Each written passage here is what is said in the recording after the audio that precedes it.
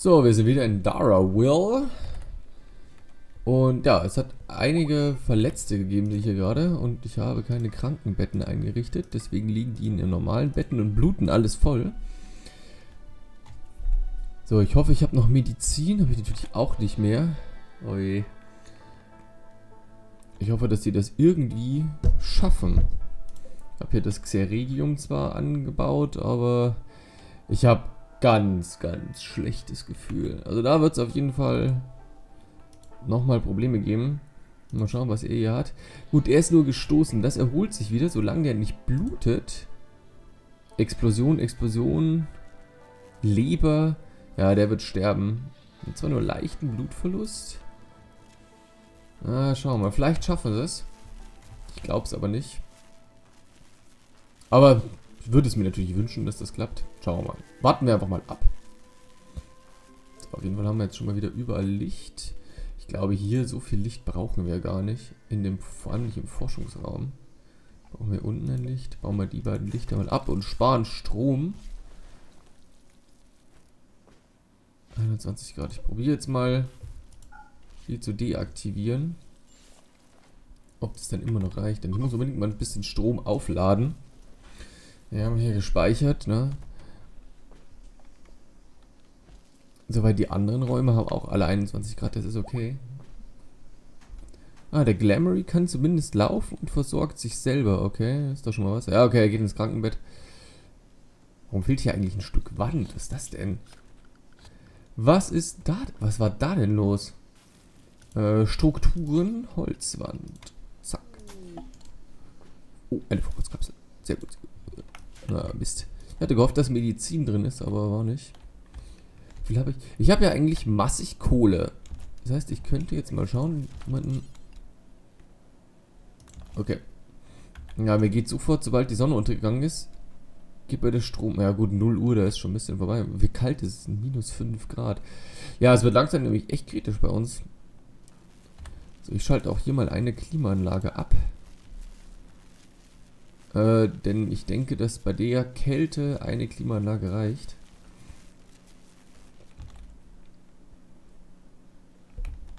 Und schau, der andere hat sich schon wieder erholt. Der Ben ist jetzt draußen, weil er keinen Bock mehr hat, okay. Habe ich jetzt überhaupt noch irgendwelche Leute, die forschen können? Ja. Aber forschen machen alle, okay. Oh, die nächste Vorratskapsel, sehr gut. Was ist das denn? Boomrattenfleisch, cool. Das ist bestimmt total, total widerlich. Liegen hier... Habe ich jetzt keinen Jäger mehr? Oh, Tatsache, ich habe keinen Jäger mehr.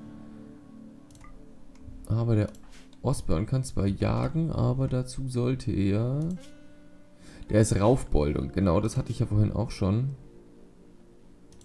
Da muss der Ben das machen. Was hat er denn? Äh, Charakter. Der kann nicht schießen, aber das ist nicht schlimm, dass der nicht schießen kann. Und dann lernt er es eben. Der ist auch Raufbold. Oh. Ja, das hilft nichts. Habe ich jetzt echt zwei Raufbolde? Benjamin Frick. Ach, der Glamory. Der Glamory kann das doch auch machen. Soll der, ist der Glamory ab sofort unser neuer Jäger. Der Ben nicht. Und der Glamory bekommt dann ein Gewehr. Oder die Pistole. Glamory, take the gun. Zack. Oh, hier wird das Muffalo geschlachtet. Also ich glaube, mit dem Essen komme ich über den Winter. Ich gehe auch davon aus, dass hier irgendwann mal noch... Ähm, wow. Äh, dass hier irgendwann mal noch ein Schiff vorbeikommen wird. Wo ich mir ein paar Sachen kaufen kann. Wollte ich die hier nicht eigentlich zähmen? Doch, die wollte ich zähmen, wenn sie... Tierpfleger, genau. Eins männlich und eins weiblich ist männlich. Weiblich, sehr gut. So, zähmen. Zähmen. Dann kann ich nämlich schon mal Tiere züchten. Einen Muffalo-Stall kann ich mir dann bauen. Das ist gut. Das dürfen die gerne probieren. Hier. Red mit dem Muffalo. Oh, hier. Fütter das Muffalo. Jawohl. Zähmung fehlgeschlagen. Egal. Und oh, die haben sogar mal ein bisschen sauber gemacht hier. Ah, jetzt geht wieder der Strom aus. Eigentlich nicht so schlimm, dass der Strom ausgeht. Dann kann einer fehlt. Ah, komm, der Skinner. Ja, wir sind nicht lange ohne Strom. Und solange die schlafen, ist es eigentlich auch egal. Solange es hier drin... Ja, es kühlt halt hier drin dann stark ab, ne? Hier nehmen sie natürlich immer das beste Essen. Man sieht das auch, genau. Äh, hier. Luxuriös gemütlich, da war der gerade, genau. Und hat eine leckere Mahlzeit gegessen. Bringt ihm auch gute Stimmung. Ja, Kälte geschlafen. Sah Verbündete sterben. Das ist Pech. So, wir müssen jetzt... Im Winter kann man relativ wenig machen. Deswegen, tja, ne? Müssen wir schauen, dass wir hier irgendwie über die Runden kommen. Man kann ja kein Holz essen.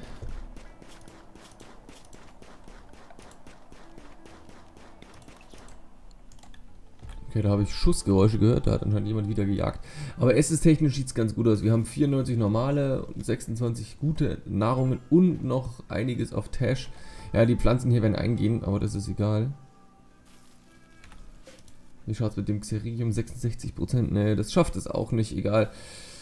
Dann nehmen wir die Wachstumsphase vom nächsten Jahr. Boah, September. Es ist erst September, ne? Und die Wachstumsphase wird wahrscheinlich nicht vor Mai beginnen. Das heißt, wir müssen eventuell auf Hydrokulturen umsteigen. Aber vorher brauche ich jemanden, der mal exklusiv forscht. Da soll... Er hat eigentlich eh nichts zu tun.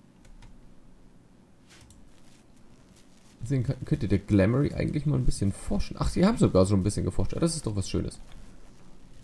Ich habe auf jeden Fall schon mal genug Baumaterialien. Das ist schon mal gut. Hier oben das Licht kann ich eigentlich auch ausmachen. Denn in der Gefangenenkabine, in der keine Gefangenen sind, brauche ich erstmal kein Licht. So, und hier im Krankenhaus machen wir auf jeden Fall auch noch äh, mal einen anständigen Boden rein.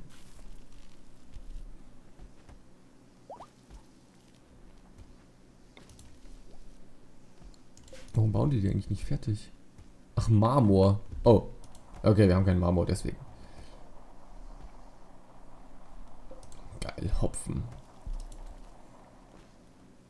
Ah, da forscht der Skinner doch. Sehr gut.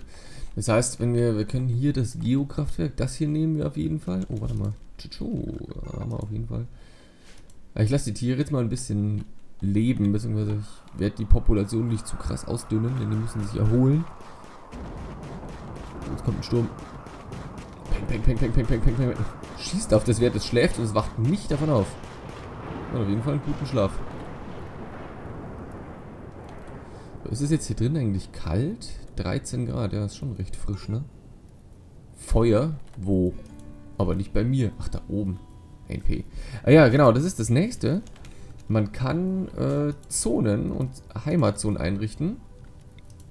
Die mir jetzt anzeigen sollte, genau. Überall da, wo ich gebaut habe, ist eine Heimatzone und auch da versuchen die natürlich zu reinigen und zu äh, Feuer zu löschen.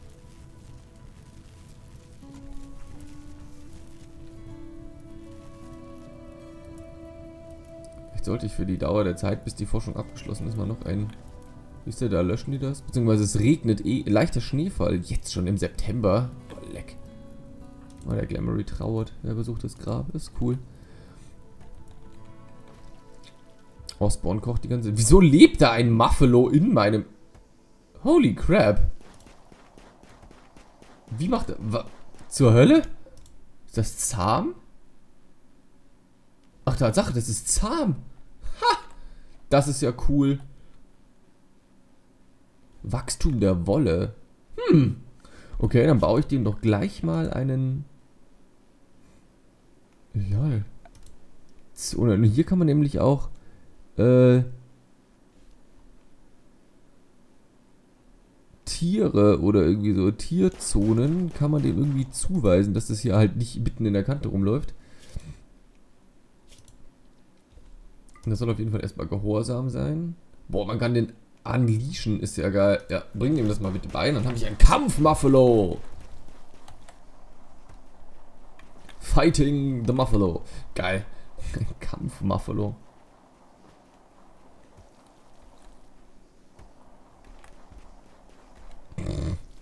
Das ist sehr cool. Ja, wenn es gehorsam ist, dann hört das auf mich. Cool. Das läuft hier rum, ist ja geil. Jetzt muss ich aber nur noch mal rausfinden, wie man... Man kann auf jeden Fall Tiere... Genau, ah, hier kann man die... Okay, das darf sich erstmal nur in der Heimat... Das darf sich nur im Tiergebiet... Ah, genau, hier. Neues Tiergebiet. Oh, ne. Neues Tiergebiet, genau. Und wie kann ich das jetzt festlegen, das Tiergebiet, wo das ist? Tiergebiet. Ja, wo ist denn das Tiergebiet? Das irgendwie über die Zonen machen? Anbauzone, Zone, Heimatzone. Kein Dach. Hm. Hm. Wie mache ich das? Also das ist auf jeden Fall die Heimatzone, klar. So, Tiergebiet. Aber wie?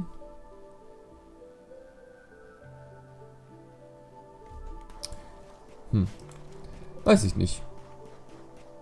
Wie ich das mache. Mit den Zonen. Was haben wir denn da? Vielleicht finde ich das noch. Die können ja hier immer ein bisschen machen. Ne? In der Lagerzone nicht. Heimatzone? Nee. Kein Dach, Schneeräumen, erweitertes Gebiet. Hm. Keine Ahnung, wie man die festlegt. Werde ich mich belesen, bei der nächsten Folge weiß ich's. Und da weiß ich es auch besser. In der Zwischenzeit kann der hier ein bisschen draußen rumroamen, oder, oder im Haus rumroamen, es einfach scheißegal ist.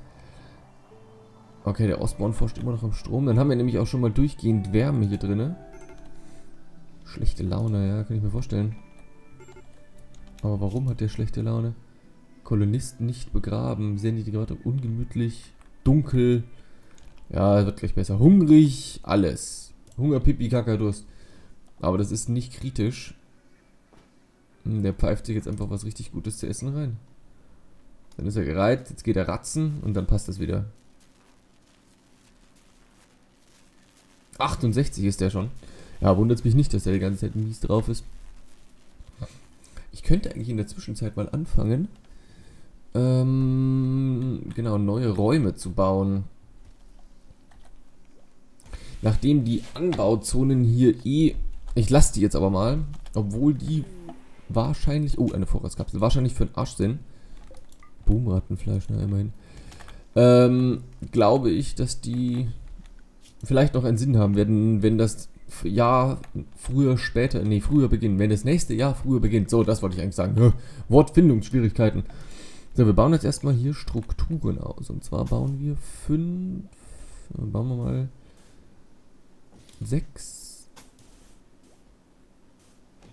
mal sechs Räume.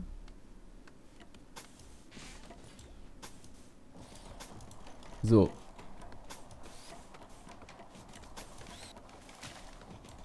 6 mal 6 Räume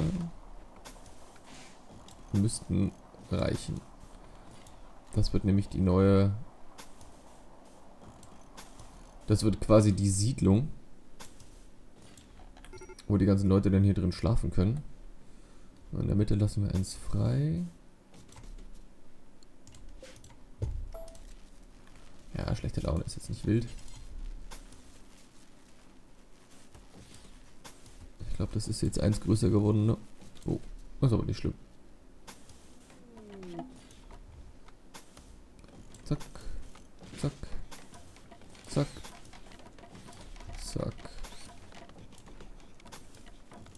So. Das wird das neue Wohngebäude. Ah ja, okay, wir haben massig Holz.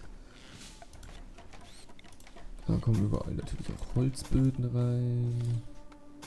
Wir machen es richtig schick. Die Tür natürlich auch. Ich finde das so geil, wenn die Böden klöppeln, das Geräusch dazu. Finde ich super. Gefällt mir. Gefällt mir sehr gut. Dann kriegen wir natürlich auch alle noch Türen, Strukturen, Türen, Holztüren. Holztüren reichen völlig aus. Außerdem wollen wir hier der Natur was Gutes tun. Und alles gut machen. Genau, hier natürlich. Holen wir uns die Rohstoffe, die wir gerade gebraucht haben, zurück, indem wir die ganzen Bäume hier mal fällen. Hätten die wahrscheinlich auch automatisch gemacht. Aber Sicher ist es. Oh, ein Yorkshire Terrier. Ein, eine Gruppe im Stich gelassene verwirrte Tiere der Gattung Yorkshire Terriers in das Gebiet bekommen. Das ist gut. Oh, hier pennt schon ein. Wo sind die denn? Besuchergruppe. Ah ja, treue Tal, okay. Ja, cool, ne? Wo sind denn meine Tiere? Boah! Eine ganze Armee Yorkshire Terrier. Geil. Die müsste ich eigentlich alle, die muss ich jetzt eigentlich alle zähmen, ne? Sind die schon zahm? Ne, sind noch nicht zahm. Okay, gut. Ha, cool.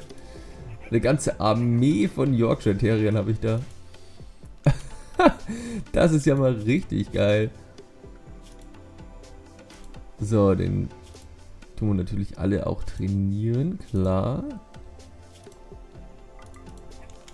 Das wird zwar ein bisschen dauern, bis die alle trainiert sind, aber immerhin, ne? Geil. Oh, hier der Ben, der schnappt die sich.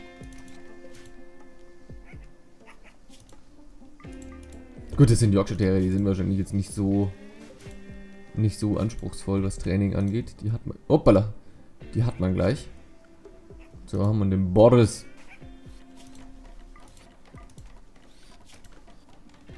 Ergeben. Oh, okay. Cool. Deutscher Namensgenerator.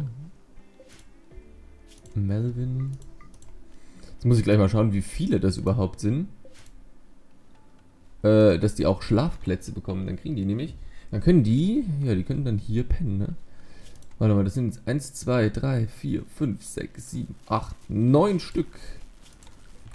Das heißt, wir bauen natürlich auch gleich mal. Einen haben wir schon. Oh. Dann bauen wir mal aus Terrierleder. Das wäre natürlich schon ein bisschen grausam, ne? Was ist denn das Blaue hier? Ich glaube, das Blaue ist Wild Muffalo-Leder. Ja, da können wir auf jeden Fall was bauen. Das kostet 45. Muffalo-Leder. 1, 2, 3, 4, 5, 6, 7, 8, 9. Und das reißen wir ab. Dann können die hier pennen. Saugeil. Aus Muffalo-Leder. Da sind die Tiere mit Sicherheit super glücklich, dass die einfach mal besser schlafen als die Kolonisten. Oh, das ist üble Qualität. Naja, egal. Die sollen sich nicht beschweren. Die haben es gut bei uns.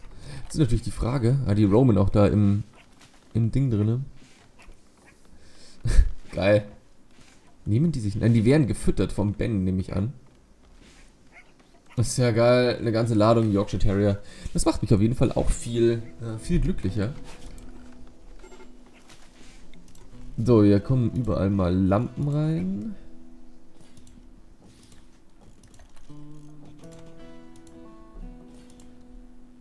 So, was habe ich überall platziert? Genau. Ja, die Betten, die reißen wir dann einfach ab. Die können wir jetzt ja hier schon mal installieren. Die ganzen Blumentöpfe, die wir noch von früher haben. Nichts wird verschwendet. Müssen wir nämlich nicht so viele nachbauen. Das finde ich gar nicht so schlecht, dass wir da nicht so viele nachbauen müssen. Zählt das unter Möbel? Ja, aber nicht Stahl, sondern Holz. Zack, zack, zack, zack, zack. Alles wird gut, alles wird gut. Ja, wir brauchen dann natürlich auch noch komplette Verkabelung, das ist richtig. Zack. Einmal komplett rum um den Komplex. Den schließt er natürlich auch hier an die Hauptversorgung an, logischerweise. Immer redundant, immer redundant. Haben sie ist auf jeden Fall ein richtig cooles Bauprojekt.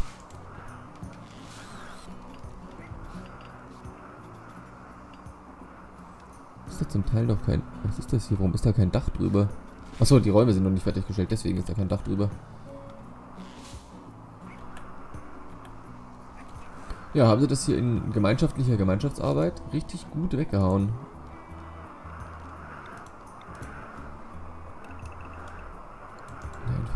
Alles und Objekte bitte hier auch einmal entfernen. Okay, da ist nichts. Dass wir hier so eine, einen Gehweg haben.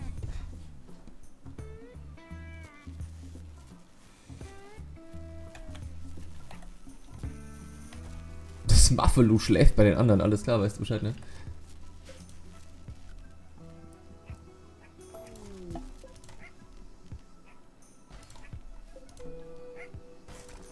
Vielleicht reicht es ja dann hier zumindest für das eine noch.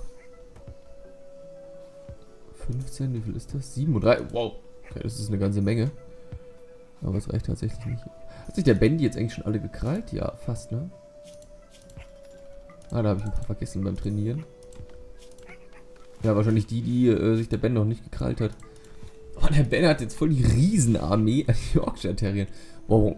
Okay, es ist Sonnenfinsternis. Geil, jetzt habe ich gar keinen Strom. Großhändler. Sehr gut. Sehr gut, sehr gut, sehr gut. Osborne, herkommen. Kein Strom. Okay, gut. Natürlich, wenn ich gerade keinen Strom habe, ist sowas. That's my luck. Vorratskapsel. Zack, was haben wir hier? Was ist da drin? Hallo? Verpiss dich, du scheiß Eichhörnchen. Vielleicht sollte ich mir mal Eichhörnchen zähmen. Dann habe ich hier eine Eichhörnchenkolonie. Uh. Ich habe einfach die besten Vorstellungen von Dingen. Jetzt frage ich mich aber dann, was ich aus dem Raum, das ist ja eher so ein Zentralraum, ich glaube, da mache ich so einen Vergnügungsraum draus.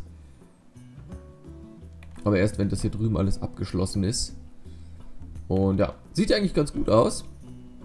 Ähm, ich würde sagen, boah, hier drin ist halt auch finster kalt, ne, dadurch, dass ich keinen Strom habe.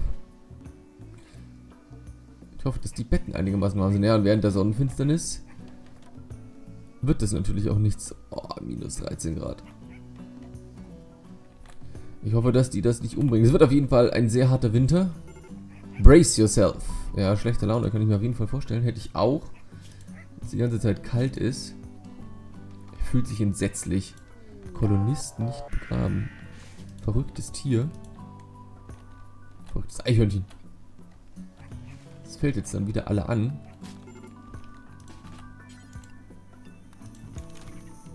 Aber ich hoffe, der Glamory gewinnt im Nahkampf gegen ein Eichhörnchen.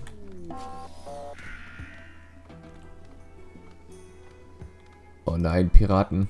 Gerade jetzt. Und wieder drei Stück. Ich wollte doch mit der Folge aufhören.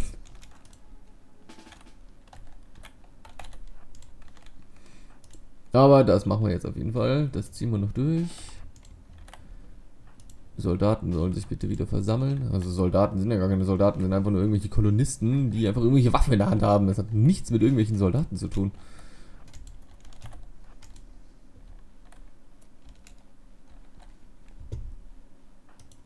da oben ist der, okay.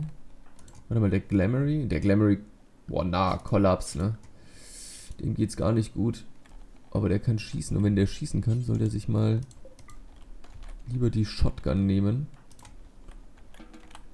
Anstatt den billigen Scheißdreck hier. Geilen Schneemann, voll geil. Wer hat den denn gebaut? Die müssen wir auf jeden Fall ausziehen und bei Gelegenheit auch begraben. Und sonst wird die Stimmung hier immer unglaublich mies. Ah, hier mit der Armee. Ah, der schießt da unten schon auf einen. Okay, das ist gut. Dann soll der auch da unten weiter auf den schießen. Wo sind denn die anderen? Ach, da sind die anderen. Greifst du da meinen Muffalo an? Ich glaub's, ey.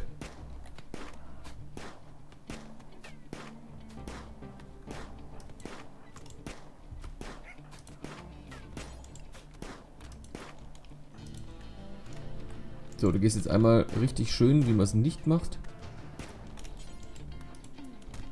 Ah. Haut den kaputt, bitte. Danke. Jawohl.